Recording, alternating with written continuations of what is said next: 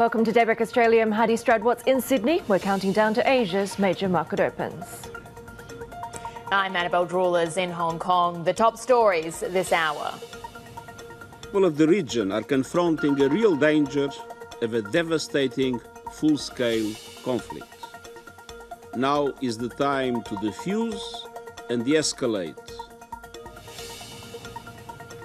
The UN chief telling an emergency Security Council meeting it's time to step back from the brink following Iran's drone and missile attack on Israel. The US and Israel weighing their next steps after allies helped mostly foil the first strike on the Jewish state from Iranian soil. And Tehran saying the attack marks a new equation, signalling a much bigger response to any further Israeli strikes.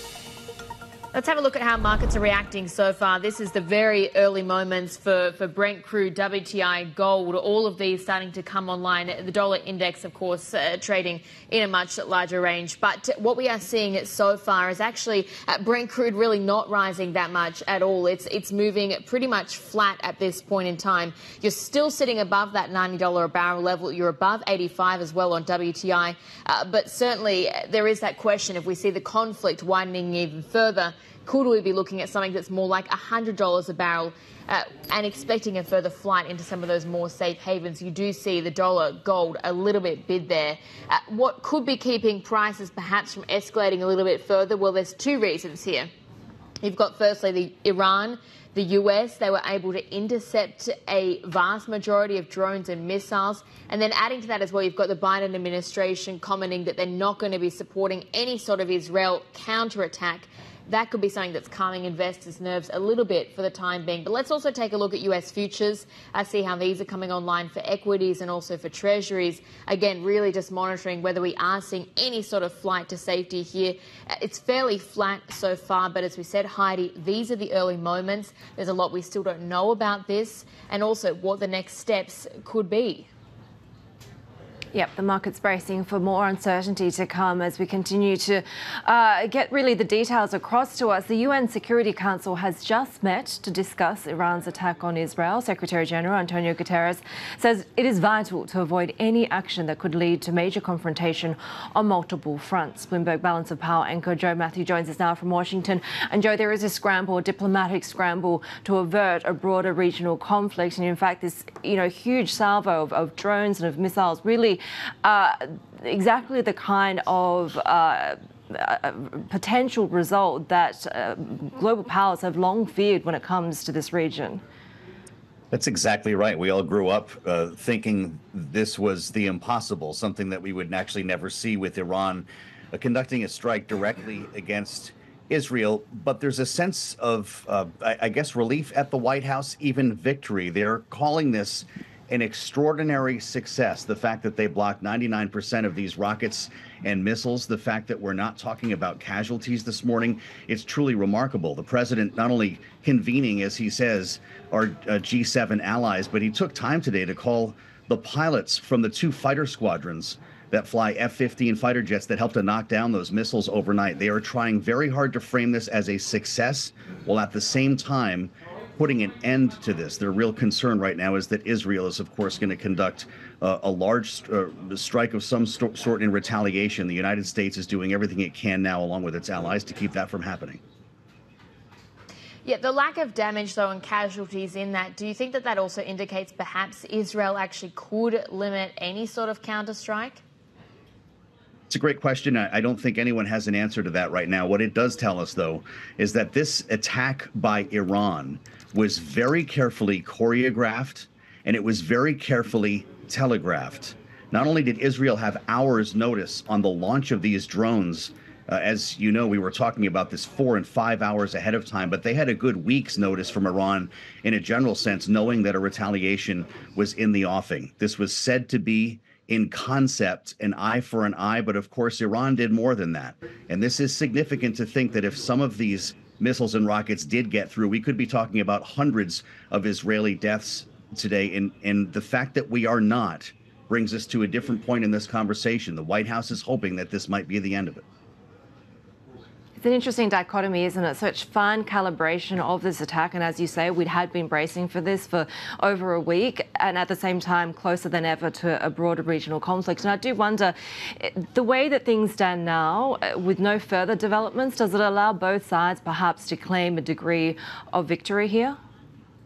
They might, although it does seem that Israel is determined to do something at this point. And as far as what happens at home, there is a very important political ramification here as the House of Representatives potentially prepares a vote on funding for Israel. It may be tied with funding for Ukraine. Both of these are very controversial with their respective uh, uh, sides of the aisle here. Progressive Democrats are very concerned about sending more money and materiel, weapons to Israel, while many conservative Republicans do not favor, at least those aligned with Donald Trump, sending money to Ukraine. So if these are in fact bound together here and see a vote next week, it is absolutely unclear if there is a path for it to succeed.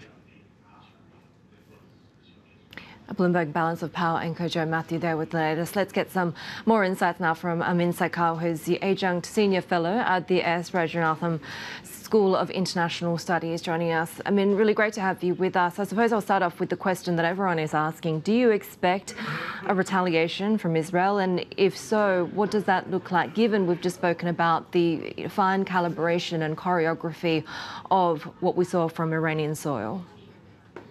Well, there's no question that the Iranian uh, response uh, was to Israeli uh, bombing of the Iranian consulate in uh, Damascus uh, last week or the week before, and uh, therefore I think it was a measured response on the part of the Iranians. they didn't want, they, they, they really didn't want to get into a war with Israel. Uh, but uh, uh, Prime Minister Netanyahu has been vowing for a long time uh, to do whatever uh, Israel can do in order to prevent Iran from uh, producing nuclear weapons. And he has he had vehemently opposed the July 2015 Iran nuclear agreement, and he had called on the Biden administration since the start of that administration not to negotiate with Iran. And uh, he had also vowed that uh, uh, if necessary, Israel will act on its own in order to prevent Iran from acquiring uh, nuclear weapons. So uh, uh, no, Prime Minister Netanyahu does have a pretext in order to attack Iran. So a retaliation on the part of Israel is not out of the question at this point. What are the chances to you of this spiralling into a broader regional conflict that so many fear?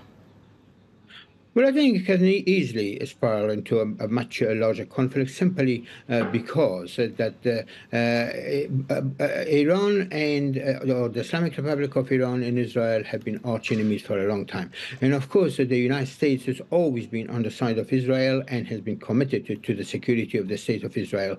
So if the, even Prime President Biden may not be in favor of war in the Middle East, and of course he has said this in the past, uh, Uh, but if uh, uh Israel uh, does carry a, a, retaliatory attack, then Iranians will respond, and the United States will be dragged into into the war in support of Israel, and Iran will definitely receive a lot of support from Russia and also possibly from China. And as a result of that, I think uh, that the situation could really spiral out of control, and uh, we we may really face, as uh, the UN Secretary General has said, a devastating uh, conflict which could take a greater global dimension and therefore affect not only the region but uh, uh, its uh, consequences affecting the, you know, the globe as a whole. Can you give us a sense of, of the, the significance of the weekend strike in terms of reaching that sort of point? If you compare to where we were, say, on, on Friday or, or last week, before these strikes really started to gain international attention or the risk of them, how much closer are we at this point in time? Well, we are very close if uh, the Israeli leadership decides to retaliate. And then the Iranians have made it absolutely clear uh, that they will respond to that and their response will be harsher. Um, but at the, uh, at the same time, uh, I, I, think both sides have also reached a point uh, to restore uh, deterrence uh, between them, uh, in the sense that the uh, Israelis have claimed that they've shot down 99% of those uh, Iranian missiles and drones and so on. Um, although it must be really said that it was not just Israel shooting down all those drones and missiles. it was really with extensive help of um, the United States, Britain, and of course France. And Jordan also played an important role. Uh, and and as uh, your reporter said, it was choreographed and uh, related to, to, the Israelis over a week, and therefore Israelis and their allies had been really prepared for this.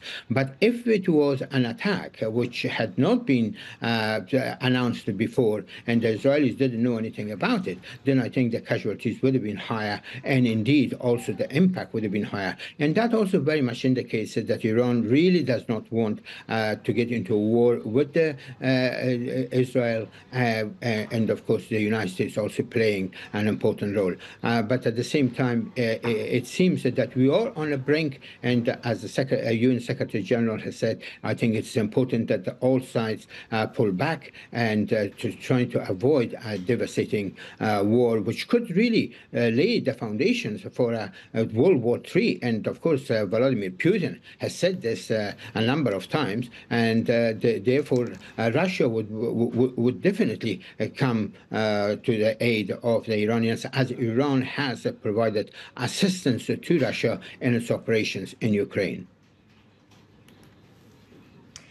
In the event that we do see any sort of Israeli retaliation, what would be the, the targets of that as well, do you think? Well, definitely, I think uh, Israelis would target the Iranian uh, uh, nuclear sites and also major military bases. And uh, uh, but the other target would be, of course, the Iranian oil resources, and uh, that could have a really global impact on the on the economy across the world. And therefore, I think this is the sort of thing which has to be really avoided. Um, I mean, Iran also has an important nuclear program. Uh, we know uh, for fact that uh, Iranian uranium enrichment has reached something like 60%, and it may have been really higher. of course, Iran sooner or later would be in a position to produce nuclear weapons, and of course, this is what is the major concern of Israel as well as some of its allies, the United States in particular. Israel wants to be the only nuclear power in the region and therefore have this age of supremacy supremacy in the region. And that's one of the other, uh, other reasons that Israel will be very keen to, to uh, find the opportunity uh, to act against the Iranian uh, nuclear uh, installations and facilities. Uh, but of course, that could also result in a major war, whether that nobody at the end may be able to control it either militarily or diplomatically. Prior to this, of course, the US did ask China to ask Tehran not to retaliate. They also asked the same of the likes of Turkey and Saudi Arabia. I do wonder when it comes to the dimension of China's involvement, potentially Russia as well. Beijing's calling for restraint, but at what point would you see further involvement from these parties? Well, China has uh, a 25-year strategic agreement uh, with Iran, uh, which was signed in uh, 2021, uh, I believe.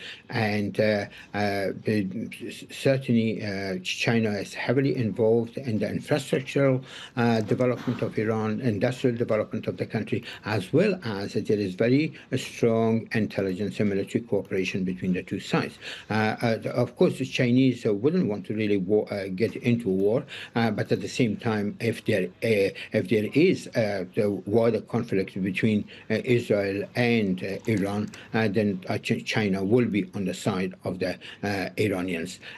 whether China will, you know, get militarily involved, I think that remains to be seen. but at the same time, it will provide an opportunity for China to establish its position as a world power and therefore vis-a-vis the United States and its allies.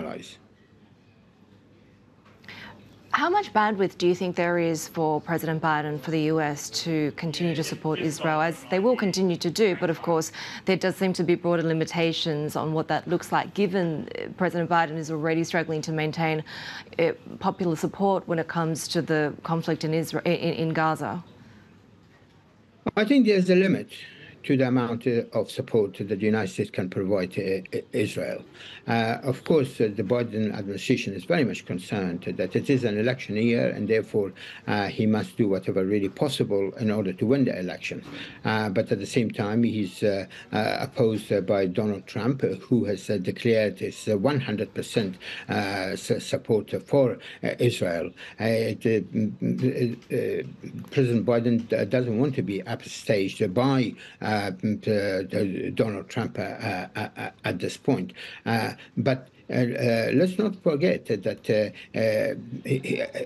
you know the United States cannot be uh, a source of unlimited supply of financial, economic, and uh, military aid to, Israel. Uh, because uh, it, it, it's not just that Israel has become isolated internationally as a result of the carnages that is really created in Gaza, but also the United States has been widely uh, uh, implicated in the Israeli actions. And this is not a reputation that the United States would like to really have internationally. And therefore, the Biden administration will have to be very, very careful to weigh all the uh, options before it can continue to provide the same degree of support to Israel that has done so far. I mean, of course, President Biden has stated that you know uh, America's uh, commitment to, to security of Israel is ironclad, but Uh, uh, at, the, at the same time, at the same time, uh, he's uh, really trying to pressure Prime Minister Netanyahu not to retaliate and therefore ignite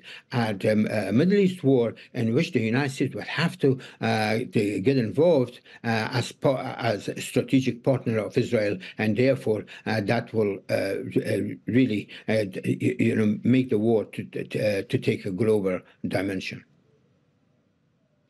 That was Amin Saikal there, Adjunct Senior Fellow at S. Rajaratnam School of International Studies. Thanks very much for your time this morning. And as we said, we're keeping a very close watch on any sort of response that we're getting to this weekend event. And uh, the latest on this is what we're hearing from the US. It's just issued a readout of uh, the call between Secretary of State Blinken and then also Jordanian foreign ministers, or foreign minister rather, Blinken. But essentially, what we're hearing here is that the US is saying it doesn't seek any sort of escalation, and also that the US says it's going to be continuing to support Israel's defense. So that is the, the readout from that call, as we said, between the foreign ministers of the US and also uh, Jordan.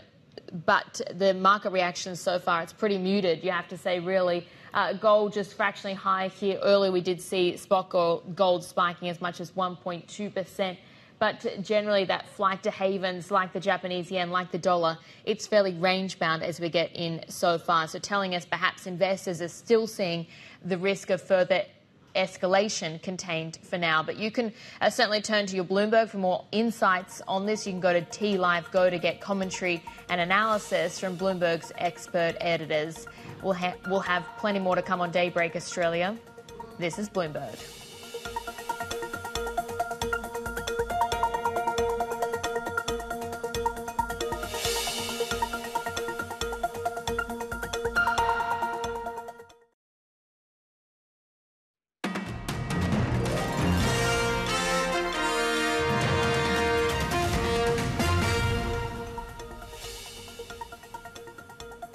Right, we've been watching the market reaction so far to the weekend attack, uh, the Iran strike that was launched against Israel. And, and so far, what we're seeing in markets is really just fairly muted. Uh, uh, given we've got little flight to, to, haven so much, we've actually seen US futures pointing a little bit higher. Uh, the yen, a little changed.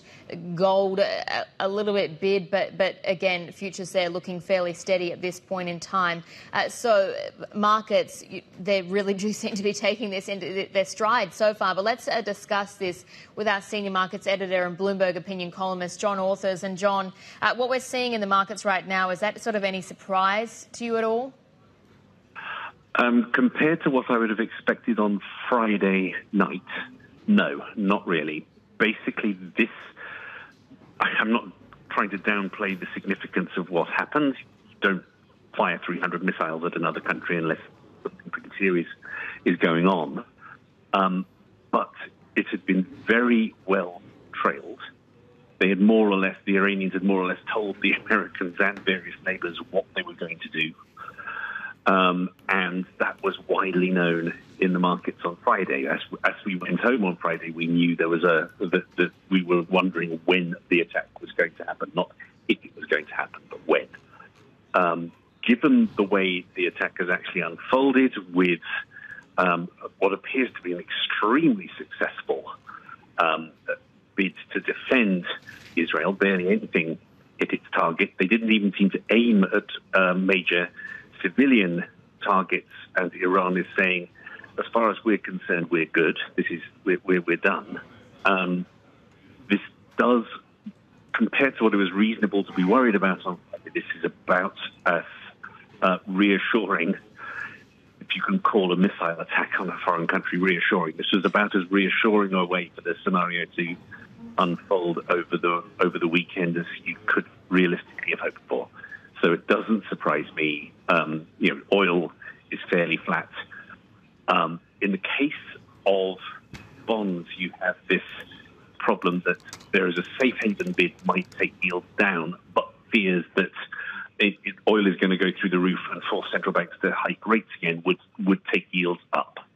Um, so again, they are rather frozen uh, as investors try to work out what is the what they are more scared of, what the greater risk is. John, would you expect uh, investor sentiment to kind of lose that nonchalance that we're seeing, if you will, if there are further developments here? Um, yes. Uh, I, I, wouldn't describe it as nonchalance, although certainly if you're talking US stocks or crypto, um, yes, there's been outright exuberance for a while. Um, you do see the VIX, the various measures of volatility, have ticked up a little. Credit spreads, which have been remarkably low, have ticked up a little. In both cases, they have a lot further they could go. Um, if you do actually get a meaningful Israeli response, even though it's fairly clear the Americans are doing everything they can to persuade the uh, Israelis not to do that, um, yes, I think that would then get very scary indeed because some of the the uh, scenarios your previous guest was discussing would begin to become more relevant. Whether Russia would help Iran, whether uh, whether you would get a more a more generalized conflict that went beyond the Middle East. Um, I would agree that on balance that's unlikely. If it happens, and it, I, guess, I guess such a scenario is more likely than it was, say, a week ago, then yes, that's that's bad. Uh, the risk of being trite, that is really, really mm. bad. You would expect oil to go through the roof, and you would expect anything that was prone, you know, disliked risk to be very seriously damaged by that. Mm. John Authers, our senior markets editor and Bloomberg opinion columnist there. Would you have more to come here on Daybreak Australia? This is Bloomberg.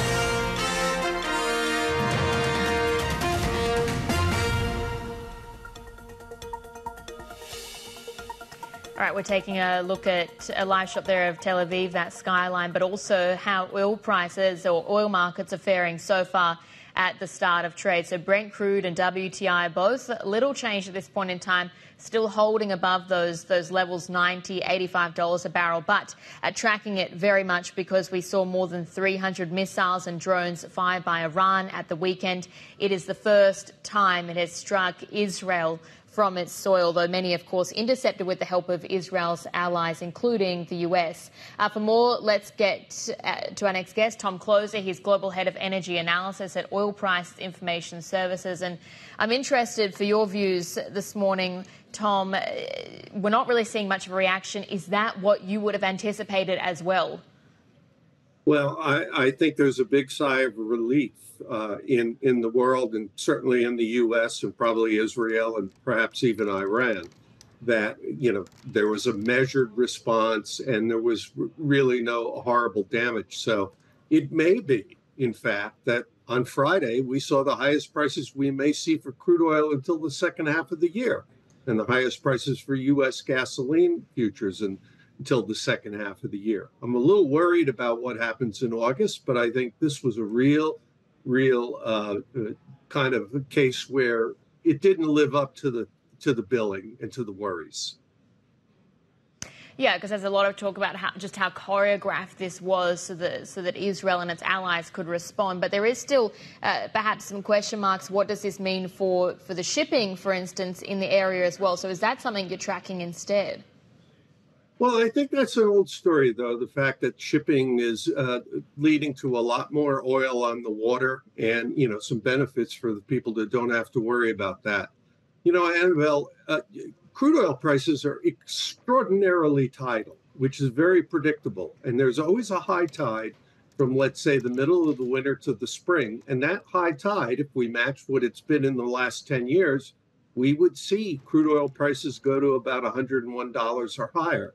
I just don't think there's enough oomph to take it up to that high tide mark for the first half of the year.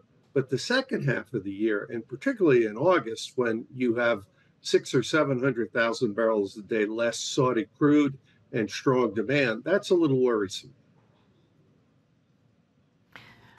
Tom, even before the developments of this weekend, the tightness that we see in the supply outlook has been worrisome, right? Do you think that's going to worsen in the coming months? And certainly there's a sense that a further escalation in this region doesn't help a market that's already being, uh, uh, you know, these risks being exacerbated by multiple conflicts and, and elements at play here. I think it's a mixed view. I think that beyond the next few weeks, we're going to see supply loosen up. We're going to see refineries in the United States and Europe get back into gear. There are tremendous profits to be made by running those refineries. And we'll probably have a little bit of an interlude between the two acts of the 2024 play. Again, I'm more worried about late July, early August. The temperatures in the Atlantic Ocean are very warm and conducive to hurricanes. And all of this worry about the Strait of Hormuz probably masks the fact that the U.S. Gulf of Mexico, where you could have hurricanes knock out a lot of production, exports about 12 million barrels a day of hydrocarbons during some uh, some days. Uh, Let's talk about the demand side a little bit. Is there really sort of greater optimism that's driving these dynamics coming from an expected meaningful recovery out of China? Uh, I think China has been a non participant at most of this. And the worrisome thing for international demand is probably the fact that the US dollar has performed very, very well. And companies with high growth, for example, India, uh, have much more expensive prices than they're used to. We're even seeing in the United States, where it's an election year clearly, and gasoline prices are a prime uh, issue. We're seeing some demand destruction there. It doesn't make sense in terms of the metrics of what people make and what they can afford, uh, but there's a reaction to high gas prices in the United States that's visceral. Tom, how robust do you expect the summer peak season to be? Because expectations have been set pretty high. Yeah, I'm I'm worried about uh, not so much the beginning of the summer, but the end of the summer. Again, we haven't had a U.S. Uh, uh, impact from uh, hurricanes in the Gulf of Mexico since 2021. The most serious one being in 2017 everyone knows about Hurricane Katrina 18 years ago, but what they don't realize is that we've increased the amount of U.S. refining capacity from Corpus Christi to Pascagoula, Mississippi. So there are many, many more refineries as well as offshore oil that's in the target of potential tropical systems. Tom, we've of course spoken about geopolitical tensions in the Middle East, but we're also seeing uh, the Ukraine targeting some of Russia's energy assets. Is that something that you're watching instead? Yeah, that is, you know, this is the year of drone attacks. Back in 2019, there was a drone attack in Saudi Arabia that we thought was going to knock out a lot of production. And drones pretty much disappeared as a factor in the oil markets until earlier this year. Russia has some additional refining capacity, and you know I don't think they're going to be a major player in gasoline markets, even though they may have to import it. The problem is we're looking at the lowest point of the year for demand for diesel and heating oil and those molecules, and that could be something that haunts the U.S. if Russia does lose 15% or more of its refining capacity due to drone strikes. So, if you're not so much concerned perhaps about prices in the nearer term, but you're saying in the second half we could see them moving a little bit higher, what is your sort of target for, for end of year or your expectation? Uh, well, you know, by the end of the year, I think prices are going to be way down from where they uh, rise currently or where they rise in August. Uh, the last 100 days of the year, we'll see a lot more crude coming out, and there tends to be a low tide that uh, basically manifests itself from October into December and January. I'm really worried about the middle of the summer and the middle of the third quarter. And that's where we could have climate, which reared its head last year and impacted a lot of refining uh, capacity, could surge again this year. Tom Kloza, Global Head of Energy Analysis at Oil Prices Information Services, are with us. Some of the other stories that we're following today. US Speaker Mike Johnson says the House will vote this week to uh, on aid for Israel and may add funds for Ukraine as part of that package. Johnson spoke to Fox News. Iran's attack on Israel gives Johnson added momentum for an alternative to a Senate-passed aid package that includes funds for Israel, Ukraine, and the Indo-Pacific. The House Republicans and the Republican Party understand the necessity of standing with Israel. We are going to try again uh, this week, and uh, the, the details of that package are being put together right now. We're looking at the options and all these supplemental issues. German Chancellor Olaf Scholz has begun his second visit to China. He's expected to deliver the delicate message that Beijing has not acted on European warnings to end discriminatory business practices. Sources say Scholz wants to persuade Chinese President Xi Jinping that he needs to act soon to avoid EU tariffs meant to rebalance the trade relationship. US Treasury Secretary Janet Yellen says nothing is off the table in response to China's manufacturing capacity. Speaking to CNN, Yellen suggests that includes the possibility of additional tariffs to stem a flood of goods into the US market. Sources tell us the issue of China's overcapacity may be discussed at the IMF and World Bank meetings in Washington this week. Flags are at half-mast in Australia today, mourning six people killed on Saturday in a stabbing attack at a Sydney shopping mall. The offender has been identified as a 40-year-old man and authorities say there is no sign that it was an act of terrorism. He was shot dead by a lone female police officer who's been praised as a hero by Prime Minister Anthony Albanese. Eight survivors, including a nine-month-old child, remain in hospitals across Sydney. More ahead on Daybreak Australia. This is Bloomberg.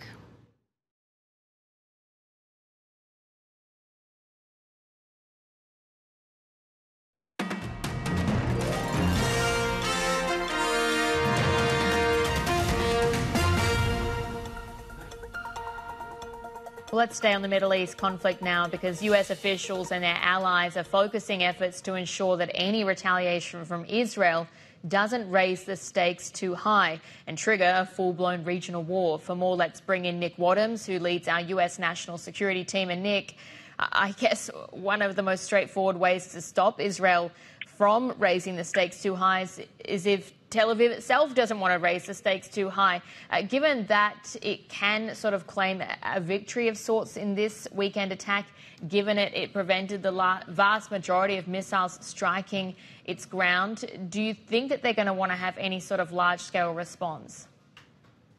Well, that's the big question we are really all trying to answer right now. I mean, the signals from the U.S. side are very clear uh, that any response going forward should be diplomatic, uh, and that uh, Israel basically proved that it has the advantage over Iran because it stopped, I think, 99% of the 300 drones and missiles that uh, were fired from Iran into Israel overnight Saturday night.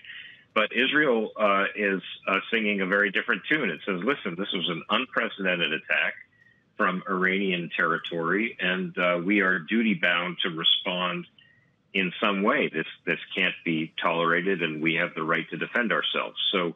Uh, you know, in some ways, this is going to be a question of how much leverage the U.S. has over Israel. It's going to be how much uh, Prime Minister Benjamin Netanyahu needs to respond to domestic concerns and also to uh, restore deterrence, as Israel Israeli officials say. Uh, so they're saying there will be a response. It's just a question of when and how severe. What is the capacity like for both Israel and the US, right? And I guess both militarily and uh, politically, given the waning support we've seen for the operations in Gaza over the past few months? You know, it's a great question because there's there's been a lot of back and forth. Obviously, Israel was looking increasingly isolated over its conduct of the campaign in Gaza, and some analysts and officials have been telling us in the last 24 hours, you know, this is this is a moment where solidarity is back. Israel and the U.S. are closer together than they were uh, before. Uh, but the question is, you know, what does Israel do uh, in Gaza? It's not finished with the campaign there. And then again, how does it respond? So the military capacity is vast. I mean, Israel's army and air force uh, are are extremely robust. So there's a lot they could do. The question is how far they want to push it uh, to uh, it, to bring about a situation that may then push them into the isolation that they've been seeing for the last couple of months over the conduct of the campaign And Congress is set to vote on this long delayed aid package this week as well. How does what happened this weekend and these sort of dynamics potentially, you know, weigh into that? Is it expected to be, I guess, a renewed show of support from the Biden administration? Well, you know, the big question there is that there there is really no daylight between Republicans and Democrats on the question of passing aid for Israel. The, the much bigger question is uh, the aid for Ukraine, and that's where the disagreement is. Democrats say, "Listen, we are not going to split these two things up. If you want this hundred billion dollars or so in aid, it's got to be both Israel and Ukraine, and then also elements for for Taiwan." Uh, and Republicans say, hey, listen, let's just pass the Israel package and we can deal with Ukraine and the rest of it later. Uh, so it's not clear to me uh, when Mike Johnson, the speaker, says that they're going to do this this week if he's talking about passing the whole thing or just trying again to ram through the Israel side, which Democrats had previously blocked. So I suspect what's happening there is they're still trying to work that out. Uh, that's going to be a jump ball uh, heading into this week. Why we saw that sort of support from the US and its allies really waning came down to the, the escalating public criticism of Israel's deadly military operation in Gaza. And are we likely to see that focus, the military operation in Gaza, change at all? And, and as well, what does this mean for any sort of ceasefire negotiations, do you think? Well, uh, you know, again, a, a, great question because so so much of that remains up in the air. Right right now, it appears as if the ceasefire talks have stalled again, in part because uh, Israel does not want to stop its campaign, but also Hamas has indicated that it simply does not have uh, the number of hostages anymore that uh, it could release to Israel. So uh, there, there's a lot of pressure for that. You had a Group of Seven statement today calling for a ceasefire and the release of the hostages. Uh, so Israel will come under renewed pressure there. But again, you have an issue of what happens to the rest of Gaza, to Rafah. Uh, Prime Minister Netanyahu has staked so much of his uh, reputation in terms of protecting his right flank in Israel on proceeding with that campaign. And despite U.S. pressure, all indications suggest that he's determined to go ahead uh, despite what the international community says. So, again, something that we should have a little more clarity on in the next 48 hours. Nick Wadhams, who leads the US National Security Team coverage there, and subscribers can read more on today's Big Take on the terminal. That's NI Big Take, that's your function, or you can find that over at Bloomberg.com. More ahead here on Daybreak Australia. This is Bloomberg.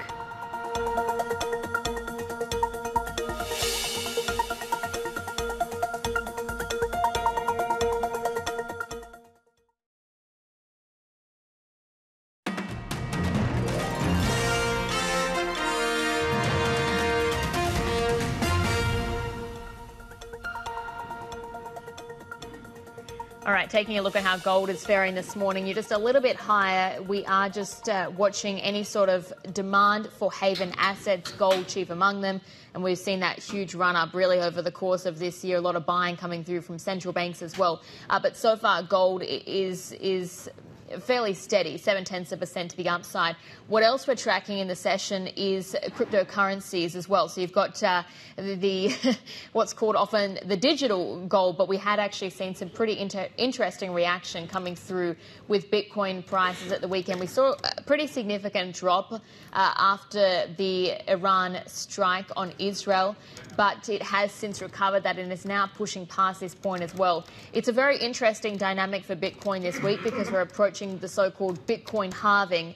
Uh, what this means is that miners receive less of a reward for mining or uh, tokens or validating the transactions, and so that in turn leads to less of a supply in the market and it can put upward pr- pressure on prices. Of course, what's different this time is that we saw Bitcoin reaching a fresh record high ahead of the halving, and that was after all of the optimism around spot Bitcoin ETFs. So that is what we're tracking there.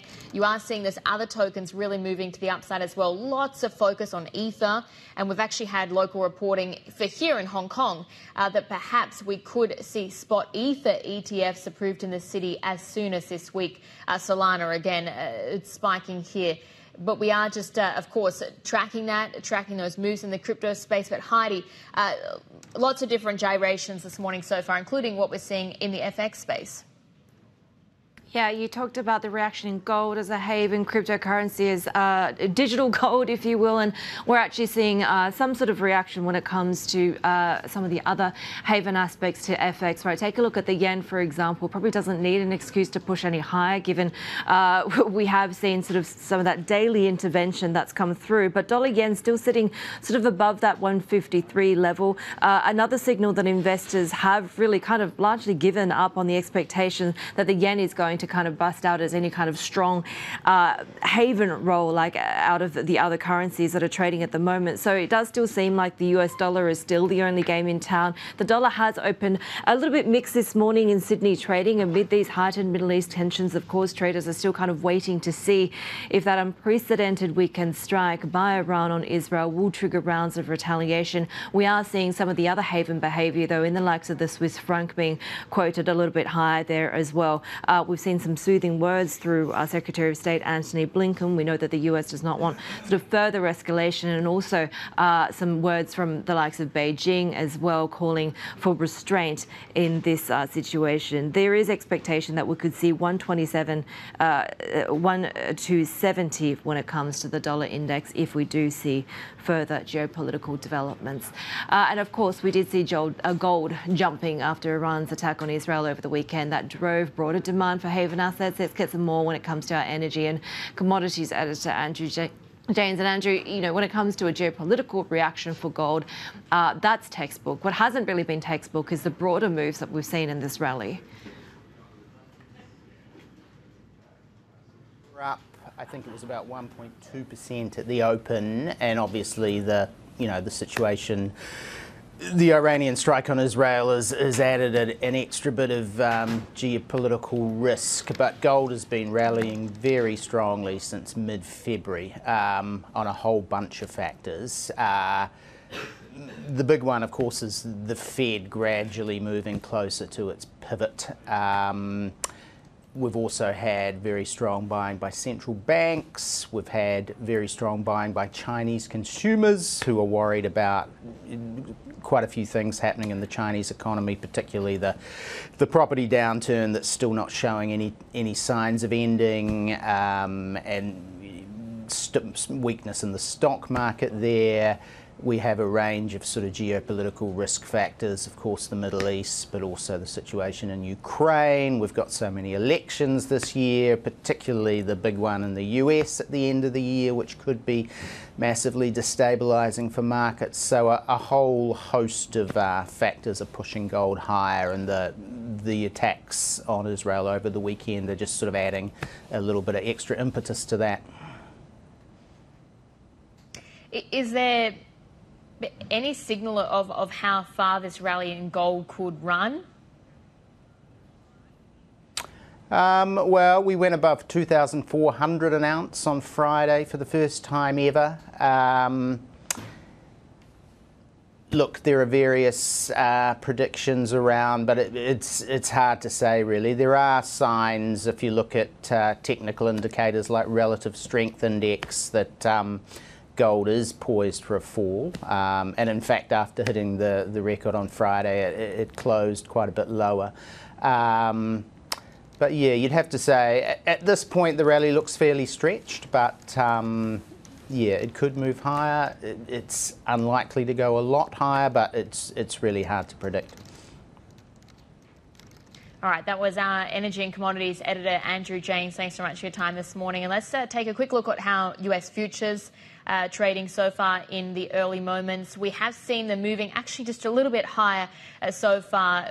Pretty interesting to end the week as well because we started off US bank earnings and uh, they pretty much disappointed. So, uh, given we've got that sort of reaction so far, tells us that perhaps these concerns around Middle East tensions are sort of subdued for now. Uh, but that's the state of play that we see there for for futures. And as we said, more of our coverage coming up in the next hour. We're going to be looking further at what's happened in the Middle East. We'll speak with the Carnegie Endowment for International Peace joining us shortly. Plus, we hear from Nomura about the weak Japanese yen. Uh, questions, of course, is whether the yen is really even still acting as sort of a safe haven currency. You've got a lot of traders as well uh, still tracking or watching for intervention. But the market opens uh, ahead. We will be tracking those when they come online in another hour's time from now. Sydney, Seoul, and Tokyo. This is Bloomberg.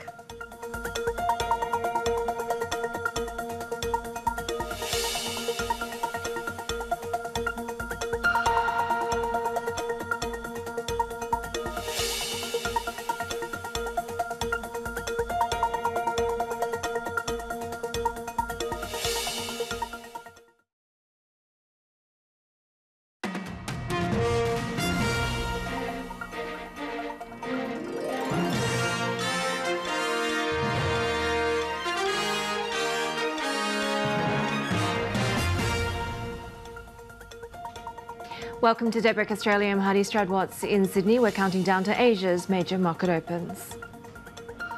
I'm Annabelle Droulers in Hong Kong. The top stories this hour. A muted early response to Iran's attack on Israel as markets begin to trade or open in Asia. Traders seemingly ready to look past the geopolitics to data and earnings that are due this week. The UN chief is telling an emergency Security Council meeting that it's time to step back from the brink of a full scale Middle East war while Israel and the US consider their next steps. And Tehran saying the attacks mark a new equation, signalling a bigger response to any further Israeli strikes.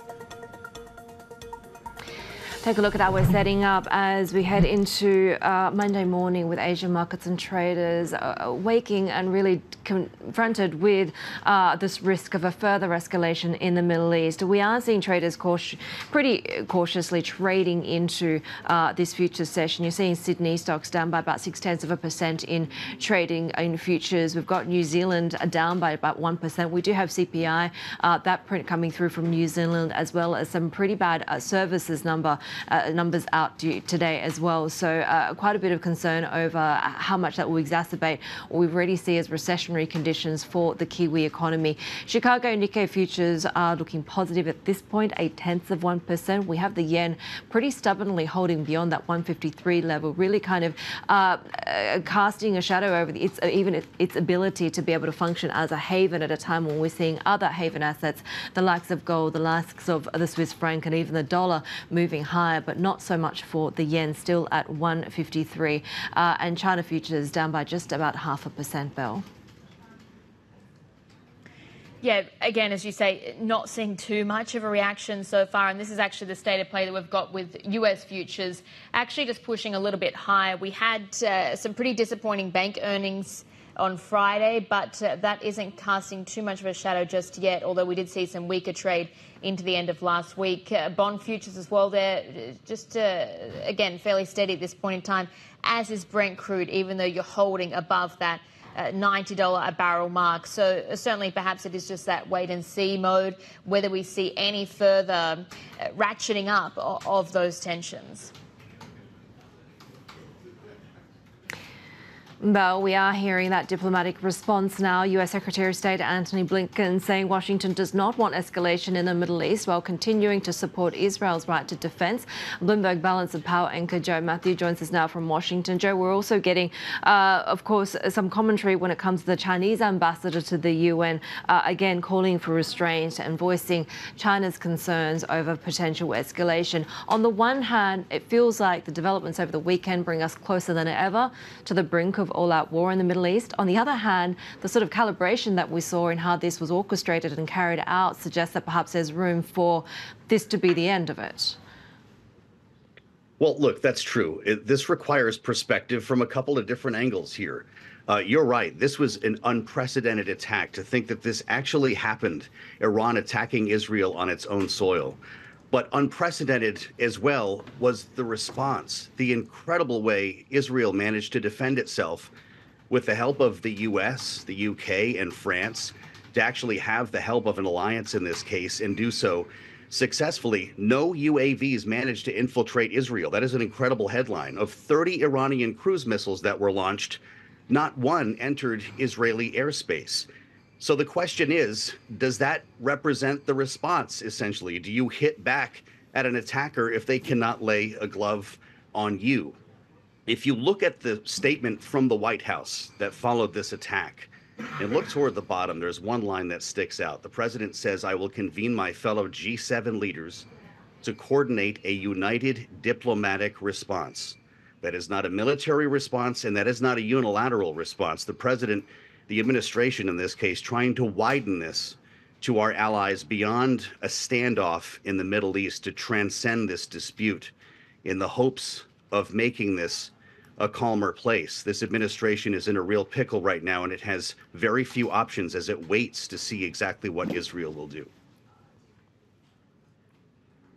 And, and when it does come to exactly what Israel does, given perhaps that this assault is more demonstrated or designed to, to uh, show resolve than rather than overcoming Israel's defences, perhaps Israel could look to limit their response. But uh, what exactly mm-hmm. does a, a, a limited response look like, do you think?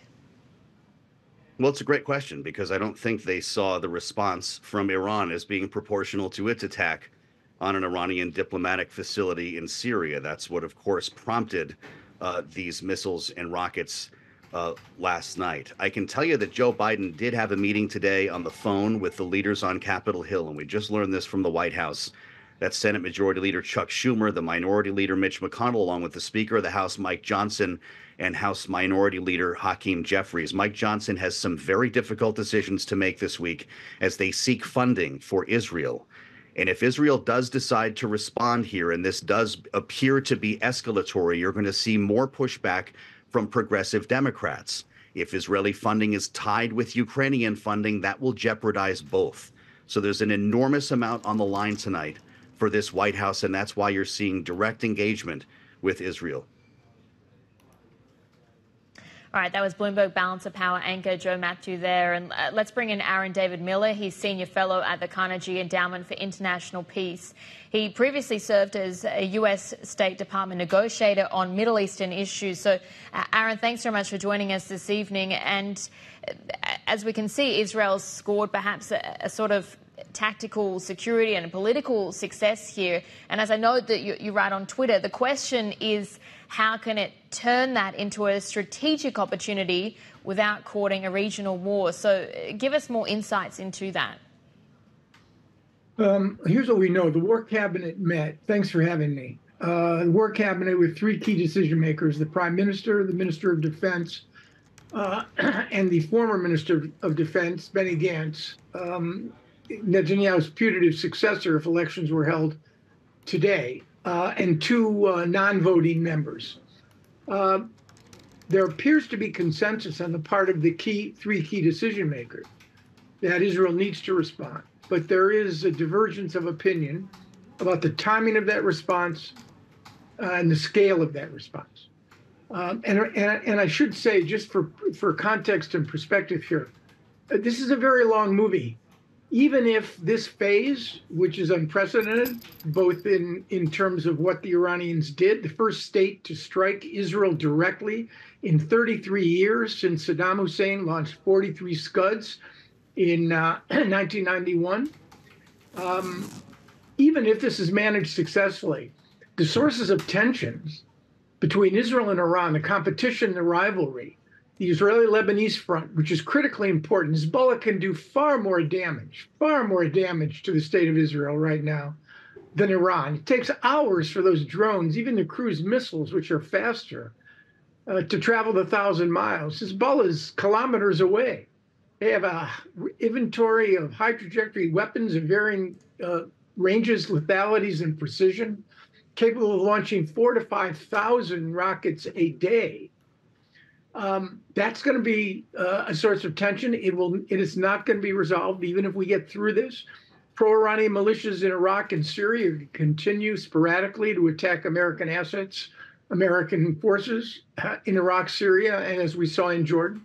And then you have, of course, the chokehold that the Houthis, a small Zaidi Shia sect that controls the most populous part of Yemen, able to um, impose serious constraints on global shipping, forcing uh, traffic around the Cape of Good Hope, adding another 3,500 miles to the supply chain. So even if we manage this, and I suspect an Israeli response is not imminent, um, this is going to be hanging over hanging over the collective heads of the international community and the region for a very long time to come. Given that the attack by Iran was so calibrated, do you think uh, they can still claim this to be a sort of success of sorts for Tehran? Well, internally, they are already drumming up the notion that they uh, uh, have struck the, the, quote unquote Zionist entity. You see demonstrations in Tehran. These are all orchestrated and calibrated the reality is that the Iranians suffered, I think, a strategic or at least a tactical defeat. 99% of these missiles, pilotless drones, ballistic and cruise missiles, uh, most, the vast majority never even reached um, Israeli territory. Uh, but again, Iran has Hezbollah, and Iran also is a nuclear weapons threshold state. It has all of the elements required to weaponize should it decide to do so. So I guess I, I, would want to say my judgment on this, um, we're going to get through this without what I would describe to you as a major regional war, something the Middle East has never seen before, something that would create spiking oil prices, plunging financial markets, and a degree of instability across the region um, that this region has never experienced. We're going to get through this. But the problem, the strategic problem that the U.S. has with Iran, that the international community has with Iran, and clearly the strategic problem Israel has with Iran, um, is not going to be resolved. We're managing. Uh, and maybe if we're lucky and smart, we'll get through this latest phase uh, without a serious regional escalation. But the trend lines on this one do not look good at all. Could we get out of this with something better? Because I know you've written about, you know, the the unpredictable predictability of what happens in this region, right? And how you often have periods of intense crisis and often horrific situations like what happened on October 7th, uh, but then followed by positive outcomes. Are you slightly optimistic that this could be one of the turning points? You know, it's it's not pessimism or optimism. It's just a 27 years of working on these issues uh, American war making, American peacemaking in the Middle East. More often than not, American ideas uh, get swallowed up by a region uh, in which great powers wrongly believe they can impose their will, their aspirations, their schemes, their dreams on smaller ones.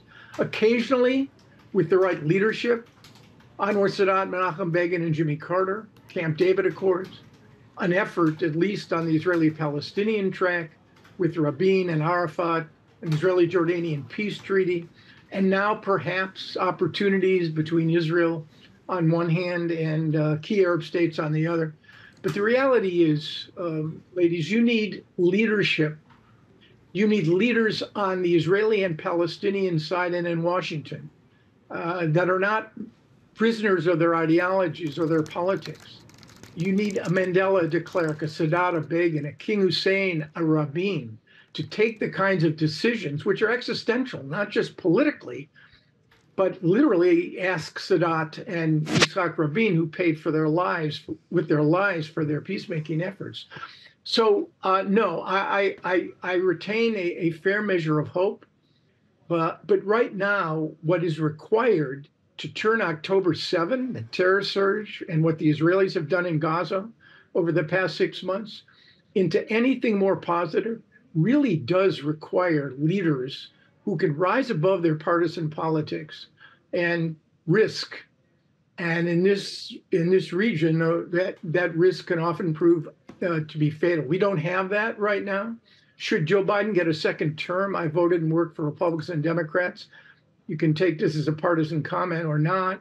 Should Joe Biden get a second term? Should there be a leadership change in Israel with a government that's prepared to be pragmatic and flexible? Um, not what we see now, which is the most extremist right wing government in the history of the state, and significant leadership on the Palestinian side and from the Arab states, I think you actually could. There is an opening here. But again, um, nobody ever lost money betting against Arab Israeli peace. I'd say that based on my own experiences. That's a lot you know, and, and, you said it out there, that's a lot of ducks that need to be in a row, right? And, and a lot of them are not sort of anywhere close to uh, close to formation. But I, I I do think, you know, is it a worthy question to talk about capacity, right? Both political, uh, economic, and, just the willingness for the US, for, for Biden during an election year, for Israel when it's already got operations in Gaza, the level of support that we see waning for those operations, uh, for Iran's friends like China and Russia, each with their own problems. Do you see that coming together and impacting the likelihood of sort of major developments going forward?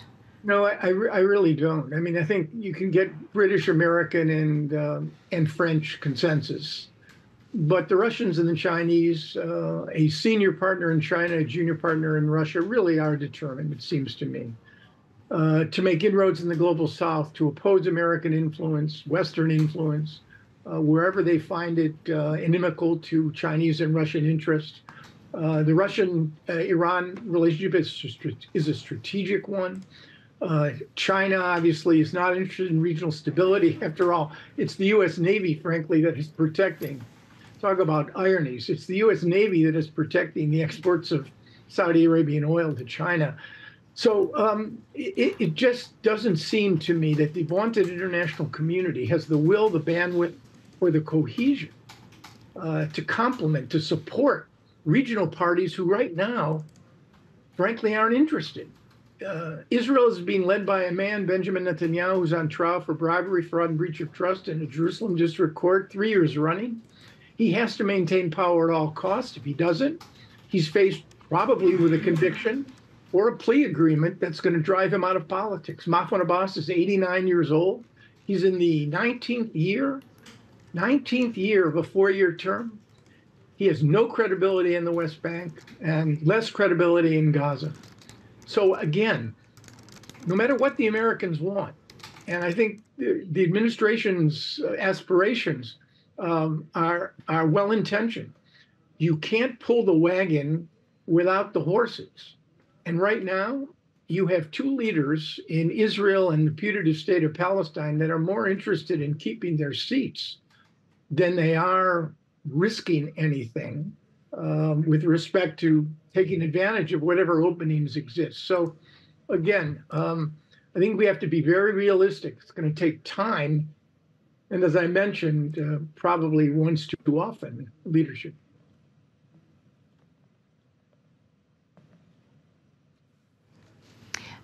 Aaron David Miller, always great to have you with us, Senior Fellow at the Carnegie Endowment for International Peace.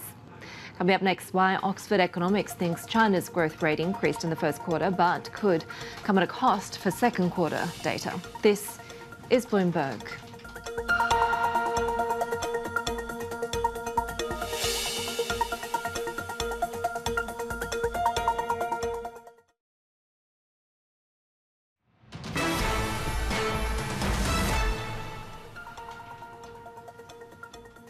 Well, taking a look at the week ahead now, and China's economy will be front and centre with a rate decision later Monday and a deluge of economic data releases on Tuesday.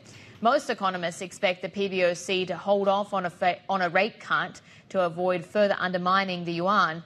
Consensus also sees weaker economic readings for China, with first quarter growth moderating to below 5%.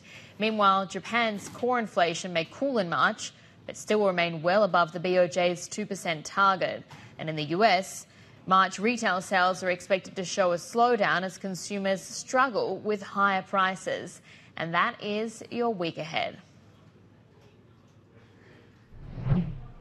And Belle, it is a big week, of course, going into that China data and the PBOC decision as well on rates. Our next guest thinks that China's growth rate increased in, at least when it comes to a sequential basis, in the first quarter. Joining us now is Louise Loo, who's a lead economist at Oxford Economics. But Louise, the caveat, of course, is uh, there's some front road loading and destocking going on that's been moved forward, right? So will that come at the expense of second quarter numbers? Yes, absolutely. So you you recall we did have very strong manufacturing data, and that's what everybody is really excited about. We also had pretty strong export data, at least for January and February. March was a bit disappointing, which kind of suggests to us that the momentum on the external front may be fading, which also means that manufacturing onshore might not actually find a buyer in Q2. Um, so there is some necessary destocking process that we think will happen in Q2 that will drag growth down relative to Q1. How do you feel about the Chinese consumer and the household in particular? There were some concerns that it's sort of really stuck on this downward sentiment spiral. Do you see signs of improvement mm. on that? I think so far Q1 has been relatively resilient compared to what we were expecting. Um, of course, we, we did have a pretty pretty late Lunar New Year that distorts the data a little bit um, if you look at it from a month-on-month basis.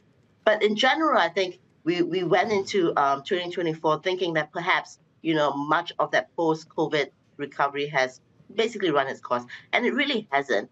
Um, so that suggests to us that you know the idea that they are quite entrenched in this deflationary mindset may not be as severe as we think.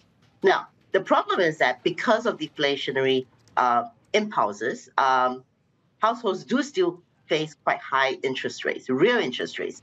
So that would also peg um, bank expenditure a little bit, which is where we think um, that is the area that the government, if they could, would be perhaps most primed to support.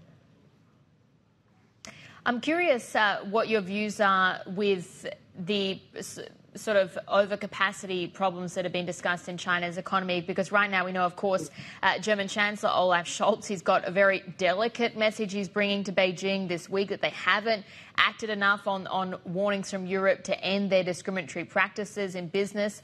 Do you see that issue of, of a protectionist backlash hitting China's economy? Absolutely. So I think that is probably that is probably more of a near-term cyclical risk to the economy. We think, um, and I say near-term because if you look at the long-term fundamentals, there's still a lot of demand for some of these products that Chinese the Chinese is producing, especially when it comes to some of these decarbonization green um, products like EVs or, or solar panels. Um, the problem is that if you look at the the messaging between um, you, you, sp- you spoke about the German chancellor, but if you look at the messaging between Secretary uh, Yellen as well as um, some of the top Beijing officials um, two weeks ago, it does seem like there is not really much appetite within Chinese officials to do much about um, the perceived overcapacity uh, problem. We do some of, we do see some evidence of overcapacity in the macro data, so it is translating through. If you look at the, the supply side, the demand side, and that discrepancy across some of these products, but it does seem like so far we won't be expecting any uh, pullback from the Chinese officials if, if that's what people are really anticipating. And it's not just, of course, that focus on China's economy this week. We've got trade numbers due out from other countries as well. What's the general trend that you're seeing here after the Lunar New Year break? Yeah, we're seeing a bit of moderation after the Lunar New Year break, which is a bit disappointing because we were expecting um, really the global economy, global demand to, to kind of do a bit of a steady pickup from here on. But I think across Asian exporters, um, as some of them will publish data later this week, uh, we would see that that recovery is pretty much a bit of a bathtub shape. So, you know, you, you have a very slow um, L-shaped type of recovery, which really isn't isn't particularly um, spectacular. Um, so that kind of suggests to us that, you know, at, at least across Asia, um, we are expecting that you would need to have more domestic demand support to offset some of these external weaknesses. All right, that was Louise Loo there, lead economist at Oxford Economics, and we'll have more ahead. This is Bloomberg.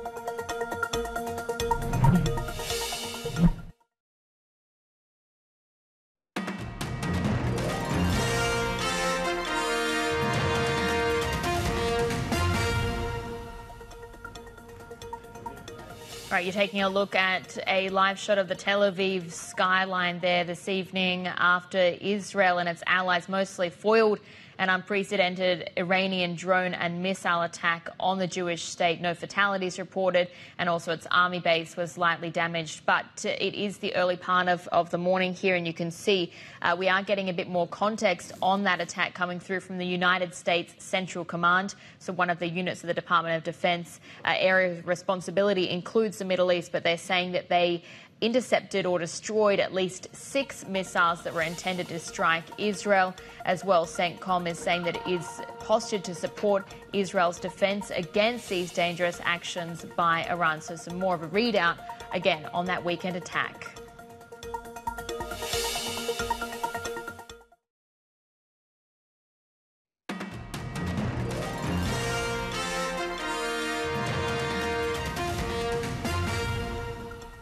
عملیات از نظر ما خاتمه یافته است.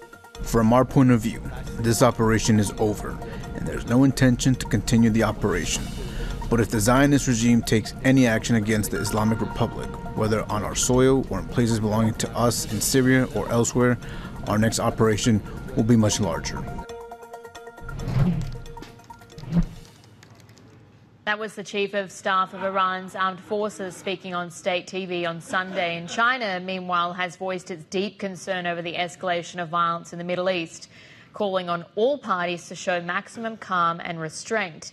Our chief North Asia correspondent Stephen Engle is here in Hong Kong. And uh, Steve, yeah, so so all parties voicing constraint here or restraint what else are we hearing exactly? Yeah, we might get more today on, uh, uh, on a Monday in Beijing from the Ministry of Foreign Affairs, but we did get a statement uh, from China's ambassador to the UN essentially saying exactly what you just said, uh, voicing their deep concern about the escalation and the retaliatory strike by Iran to Israel. And again, on Friday, we had also heard that Wang Yi and Antony Blinken had discussed this as well. Now, both sides, if you want to call the different sides, the United States and China, as as sort of proxies to what's happening, obviously in the Middle East, and of course because of China's deep ties with Tehran uh, both sides between China and the United States have called on the others to play constructive roles in trying to broker, uh, you know, or de-escalate the tension in the Middle East. Obviously, China maintains those close ties with Iran. Uh, about 90% of Iran's oil exports go to China, mm. and again, of course, last year we saw Beijing play a critical role in brokering, you know, détente between Tehran and Saudi Arabia.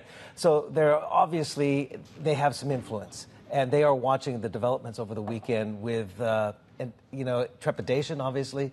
Uh, and again, they have uh, reiterated that call for a ceasefire in the Gaza. Meanwhile, German Chancellor Olaf Scholz is uh, now in China. He's got a delicate mission of another sort. So, how does he deliver this message to try and avert an EU China trade war, given we know the long relationship between China and Germany? Yeah, that's right. I mean, obviously, uh, the German, uh, you know, the number one trade partner of Germany is China uh, last year. So he has to walk a tightrope. Obviously, he wants to be able to keep that uh, trade relationship going, but at the same time, not undermine what has been a growing call from EU leaders uh, about you know calling on China to stop its discriminatory trade practices and offering subsidies in key critical sectors, including uh, new energy vehicles, uh, EVs. About a third of China's EV exports go to the EU. And this is a, a, sensitive time for Olaf Scholz. So he was in Chongqing yesterday. He flies to Shanghai today. And then he'll have those key meetings uh, tomorrow, Tuesday, in Beijing. And again, like I said, he's going to have to walk a tightrope not to undermine Europe's increasingly vocal stance on, uh, you know, commerce between the EU and China. So it, it actually is a very key meeting and trip, a four-day visit for Olaf Scholz to China. Our Chief North Asia correspondent Stephen Engle there. Uh, and take a look at how we're trading. Of course, the standout when it comes to broader commodities has been this further leg up that we've seen in gold. And even before the uh, geopolitical developments over the weekend, we have seen this somewhat uh, perplexing rally that we've seen in this gold rush, ride. But uh, we are seeing a little bit more sort of uh, further movement, six tenths of 1% higher as we see uh, really after that Iran strike against Israel, stoking more haven demand, mostly expressed through gold and the likes of the Swiss franc as well. Not so much through uh, yen, for example, this morning. Crude is holding pretty steady. We've seen pretty muted trading uh, on the energy front in response to the geopolitical escalations. And in fact, New York crude is falling about a tenth of 1% there. Iron ore is also one to watch, pretty flat at the moment. But of course, it is a big uh, week when it comes to China data. Expectations that the first quarter numbers will be quite favourable, uh, potentially at the expense of second quarter numbers looking a little bit weaker. But iron ore uh, really ahead of that 10% weekly surge last week on the back of the improving outlook for the Chinese economy. But let's get more on this gold rally. Our Asia commodities reporter Sybilla Gross joins us in Melbourne. And Sybilla, you know, the, the, the Haven reaction is pretty textbook. What we've seen as the drivers for the rally until this weekend, perhaps a little bit more confusing. Yeah, definitely, Haidi. I think everyone's scratching their head over gold at the moment because really gold is flying in the face of what we know of um, when it, it should perform well, really, with expectations for rate cuts. And they've just been pushed back um, after a series of really strong economic data out of the US. Um, Look, one factor we really can't ignore in the gold story at the moment is China. Um, we've seen just persistently strong demand uh, from both you know, local investors and also the central bank buying up huge volumes of gold. Um, and it's, it's kind of a weird uh, reversal in the trend, so to speak, because typically China has been uh, um, a sector where when prices drop, that's when demand rises. But if anything, prices are you know, the, the, Shanghai premiums trading at elevated levels, and we're not seeing any drop off in demand there. And we know China is the biggest consumer of gold, so that really can't be ignored um, in the whole gold mystery rally uh, the moment. And, and you can really see that enthusiasm for, for Chinese gold demand, in particular when you take a look at some of their gold ETFs and they're trading at a big premium to net asset values. So, uh, are we likely to see a further run up from this point in time? Uh, when, when, it comes to China, it's hard. I mean, who knows what will happen, but it's hard to see um, or imagine a situation where, given the, um, the state of the property sector and the equity sector uh, in that market, it's hard to see. Imagine a situation where investors are going to turn off gold suddenly. Um, more broadly, what that means for the spot price, it's hard to say. We have seen in recent weeks a number of banks upgrade their price forecasts for gold this year, so seeing uh, $2,500 an ounce being thrown ar around quite a bit. Um, whether that will happen in the near term or a little bit further down the track, it's hard to say. Our Asia commodities reporter Gross there in Melbourne as we continue to watch uh, really just another impetus when it comes to the gains in gold with the geopolitical uh, jitters over the weekend. Take a look at how we're setting up when it comes to the start of uh, cash trading as we get uh, just about half an hour or so, 20 minutes away from the start of that staggered open to the session here in Sydney. We're seeing ASX futures looking a little bit softer, six tenths of a percent. Their traders really moving pretty cautiously uh, in the wake of those attacks on Israel by or from Iranian soil that we saw over the weekend. Pretty unprecedented, and really we are still seeing the market kind of impact of that play through. New Zealand, where trading is already underway, we're seeing quite a bit of downside there. Some domestic factors there. Uh, New Zealand services sector that posted the biggest contraction in two years. And we're also expecting key CPI numbers this week as well to kind of potentially uh, paint a, a, a, broader picture around what those recessionary conditions look like for the Kiwi economy. Singapore Nikkei futures a little bit to the downside there, and we see the yen holding pretty firmly uh, through that 153 level, despite, of course, haven demand for other classic haven assets. US futures are seeing a little bit of upside there, four tenths of a percent, uh, as of course we head into a big week for earnings as well. In particular when it comes to the big banks. Goldman Sachs, Bank of America, Morgan Stanley, all due to report in this coming week, and that's after net interest income missed analyst estimates for peers, including JP Morgan and Wells Fargo, although Citi's profit actually was better than expectations. Let's bring our finance editor, Adam Haigh. So, uh, JP Morgan, what does it kind of set expectations for for the rest of the year then? I think in many ways, Haidi, it's really just, it was an excuse for investors to just take a little bit of, of money off the table. Those softness around the net interest income uh, numbers had been, you know, the expectations were certainly that things were going to have to soften somewhat. I think maybe that was a little bit more than, than expectations. You, you saw that in the, in the share price decline, 6.5% or so. Uh, but it doesn't mean your expectations for the rest of the year com completely drop off. I mean, if you think about the way that Dimon's been uh, characterizing the way that the US economy is developing at the moment. Um, in many ways, this is kind of fitting with, with the way that he sees uh, things progressing. And I think he's well aware of uh, positioning the bank for, for a range of outcomes. And one of those key outcomes, of course, is that rates stay higher um, for a little bit longer than you might have thought um, six months ago. So in many ways, the bank is already positioned for that. I think over at Citigroup, maybe slightly different story. And of course, Jane Fraser's big global restructuring still uh, playing through. Um, they're talking about, you know, seven odd thousand jobs having already been uh, removed, and, and some of that still has to still has to play out. So there are kind of other catalysts, I think, for, for Citi that are still worth worth watching. This week, of course, the big ones are Goldman and, and Bank of America, and that that kind of whether we see more of this pressure on net interest income, whether we see more commentary, especially um, from the CEOs around how they see the economy and whether or not um, you know some of the repricing from markets and the way that they see the Fed, whether that's in any way kind of affecting just the way that they position things on the margin at the bank. But I think all the US banks are pretty well structured now for, you know, a, a, a, reasonably kind of benign economic environment. And, and in many ways, investors are, are still pricing that kind of um, sector of the market reasonably highly. So you'd expect bank stocks to still do reasonably well in this environment. Yeah, and uh, as you say, given that we've got sort of that reevaluation going on and these changing expectations once again around the Fed, so you, you do think that bank stocks remain favourable then? Well, I mean, think about how quickly the market has, has changed its opinion and had to reassess uh, in the last few months, Annabelle. As you, as you know well, you know many forecasts have, have been thrown out the window uh, from month to month. So, um, positioning your bank, if you're a CEO running these companies, you still have to be uh, cognizant of the fact that the economy could could deteriorate a little bit further. But you also have to uh, realise that if inflation stays reasonably, um, uh, you know, controlled and, and, and, growth, as it seems to be picking up again, uh, then you have an environment which which suits you reasonably well. Especially when a lot of these banks have already gone through the restructuring and the, and the kind of the job reductions in headcount cost control, um, that sets them up pretty well for this stage in the cycle. So I think the key is to keep an eye on that net interest income number uh, from those other banks this week, but just watch that commentary on the economy from the CEOs as they come out this week. For sure. Editor Adam Haigh there ahead of those big uh, US bank earnings that continue this week.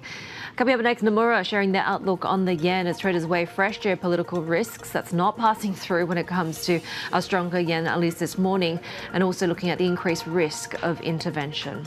This is Bloomberg.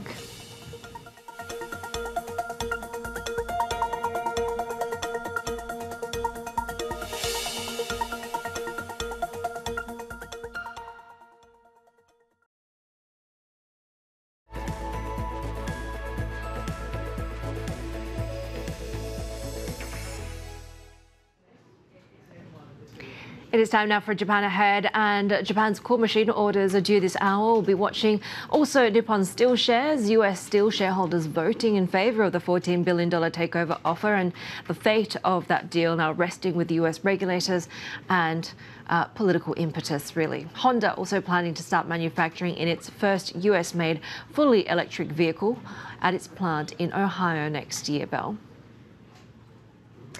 Yeah, and uh, Haidi, of course, we're keeping a track on how Japanese assets are likely to fare at the start here. You're actually seeing Nikkei futures, that contract in Singapore, just coming online to the downside here, so off 1.4%.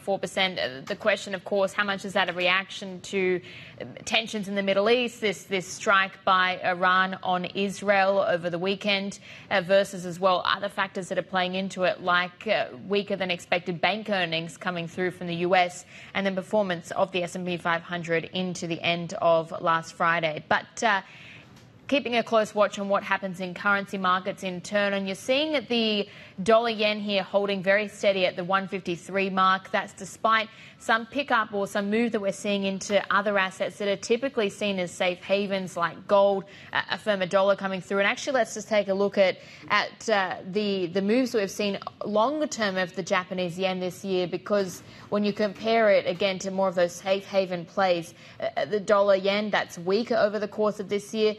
Swiss franc yen though is a little bit different here year on year, it, it's a little changed. You did see it a little bit stronger, the yen against the Swiss, franc, after the surprise cut by the SNB, the Swiss central bank. But uh, certainly, let's get more on the role of Japan's currency as a safe haven, whether that's still in play, and bring in Nomura's head of Japan FX strategy, Yujiro Goto. And Yujiro, I'm curious for your views. Do you still see the yen acting as a safe haven asset in these sorts of environments?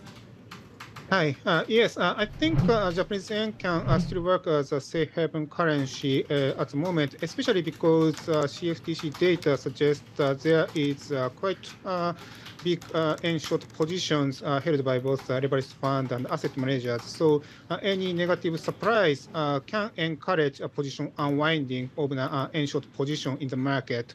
But in terms of tensions in the Middle East, uh, we expect uh, impact on the yen will be uh, actually mixed because a higher oil price uh, will be actually uh, quite negative for Japanese uh, trade balance and can work against the Japanese yen. And also, if the oil price increase further, the market could expect the Fed or other foreign central banks to be more hawkish, high for longer expectation can support dollar yen or other yen crosses as well. So I think a position unwinding can be uh, supportive for Japanese yen in terms of uh, uh, any negative surprise, but the oil price movement is uh, acting uh, quite uh, negatively for Japanese yen. So net net, I think these tensions in the Middle East will have quite a neutral impact at the moment, and we should monitor further volatility in the market will increase further from here because volatility is a key driver for any yen carry trade type trade positions. And if we have a spike in the volatility, the position unwinding can be more aggressive. So uh, I think volatility is quite important this week. Yeah, but as you say, it's that question of what we see in terms of oil prices, whether we do reach, say, $100 a barrel, that's been mooted by some in the market, what that means for the Fed, higher Treasury yields in turn how weak can the yen get from here, given you've also got the, the, the at least verbal intervention we've seen so far? Yeah, so in terms of the verbal intervention, I think uh, comments from the uh, Japanese officials last week was uh, actually not as strong as uh, I uh, we expected uh, uh, dollar yen broke 152, 153. So uh, it, there is uh, a, a, uh, higher chance for the Japanese authorities to wait and before that dollar yen trades even higher toward 154 or 155.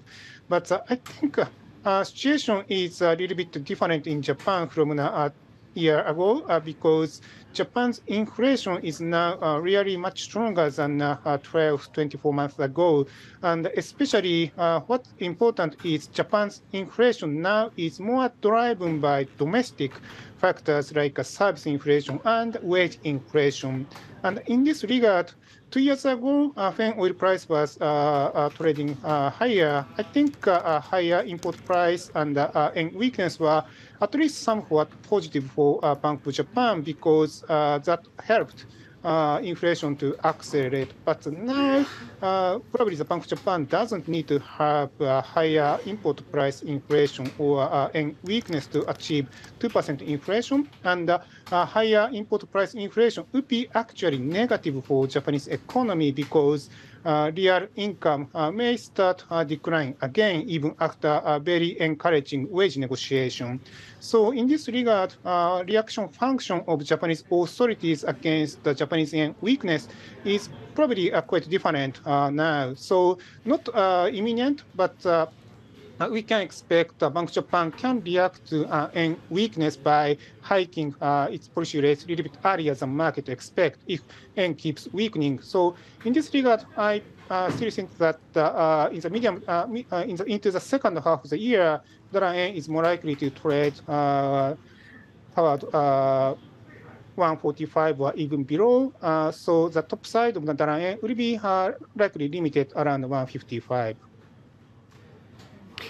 on, on, the issue of intervention, as you mentioned, the jawboning that we've heard has at most kind of kept levels steady over the past few sessions. Uh, how useful and impactful is intervention, particularly when you see the effect fade pretty quickly?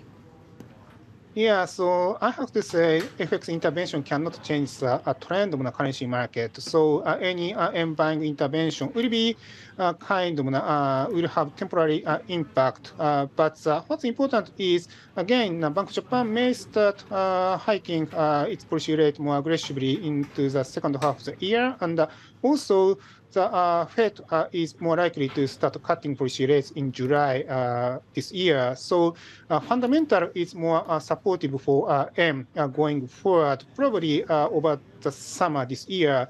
So next month or so, for the next few months, uh, still uh, of Finance may need to uh, step in the market to avoid further weakness. But I think fundamental story will be uh, more uh, supportive for Japanese yen from June or July uh, this year. So I think a combination of the yen buying intervention and more hawkish BOJ will be a good supportive factor for Japanese yen in the medium term. Uh, Yujiro, just to, you can hold for one moment because we do want to just make mention some numbers that have just dropped here. This is the Japan machine orders, core machine orders coming out for February. And actually, uh, the numbers are coming through a lot better than what had been expected by economists. So, month on month, you're actually seeing them rise 7.7%. The estimate had been for 0.8%. And then also, uh, core machine orders on the year, they're actually looking to have contracted, but not as much as had been expected. Uh, down 1.8%, and then the survey had been for a 6% contraction instead. So uh, it is looking, Haidi, a lot better than, than, than what economists had been expecting. Again, core machine orders, sort of a, a broader sentiment check on the health of Japan's economy. Uh, and uh, Yujiro, just wanted to get your reaction to that. And I guess, you know, just one more puzzle piece in terms of where we see the momentum for the Bank of Japan, right? When you hear from policymakers, when you hear from the governor, it does feel like they're not in a huge hurry and therefore there's no immediate impetus uh, to, to help the yen strengthen. Yeah, uh, I think uh, uh, that data uh, just now uh, suggests that uh, economic momentum in Japan is uh, clearly recovering and the wage negotiation outcome is also quite uh, strong. So again, I have to say uh, domestic inflation pressure is now much stronger than one or two years ago. And therefore, Bank of Japan is still more likely to be gradually hawkish into the second half of the year. And at the earliest, July could be the timing for the BOJ to hike again. And also, uh, at the next uh, April BOJ meeting, uh, Bank of Japan is going to release its inflation forecast, and uh, upgrade in the inflation forecast is quite uh, likely. And uh, after uh, that inflation forecast upgrade, uh, potentially uh, Bank of Japan can hike its policy rate anytime. So June is probably a bit too early, but still June meeting can be a live meeting with a decent chance of the BOJ's rate hike. So I think that will mm. still support Japanese yen from a monetary policy standpoint. All right. Yujiro, thanks so much for your time this morning. That was Nomura's head of Japan FX strategy, Yujiro Goto in Tokyo. There we'll have more ahead. And this is Bloomberg.